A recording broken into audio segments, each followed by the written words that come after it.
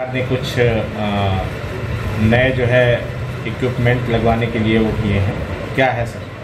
शासन के निर्देश प्राप्त हुए हैं कि ऐसी जगहों पे, जहाँ पे आकाशीय विद्युत गिरने से लोगों की मृत्यु ज़्यादा हुई है, उन जगहों को विशेष तौर पर और और जितने बिल्डिंग हैं, सरकारी कार्यालय हैं, पानी की टंकी है, ऐसे जगहों पर लाइटनिंग अरेस्टर लगवाया गया ताकि आकाशीय विद्युत गिरने की स्थिति में नुकसान को कम किया जा सके लोगों को क्या सर इससे पहले इस इक्विपमेंट का प्रयोग ज़िले या फिर प्रदेश में किए गए इसके पहले तो जो कलेक्ट्रेट वगैरह या सरकारी भवन है उस पर लगे थे लेकिन लोकल एरिया में जहाँ पे लोगों की मृत्यु हो रही है उन जगहों पर इस प्रियारिटी नहीं थी लेकिन अब सरकार ने प्रियारिटी निश्चित की है। सर ये क्या पानी की टंकियाँ लग रही हैं या और सरकारी भवन उन पर लाइटिंग सिस्टम लगा ये गाँव स्तर पे भी सर इसका कार्यक्रम चलेगा या फिर सरकारी जी बिल्कुल चलेगा। हर गाँव में जल जीवन मिशन के तहत पानी की टंकियाँ लग रही हैं। यहाँ पानी की टंकियाँ लग चुकी हैं। उसी के ऊपर लाइटिंग एक्स्ट्रा लग रही है।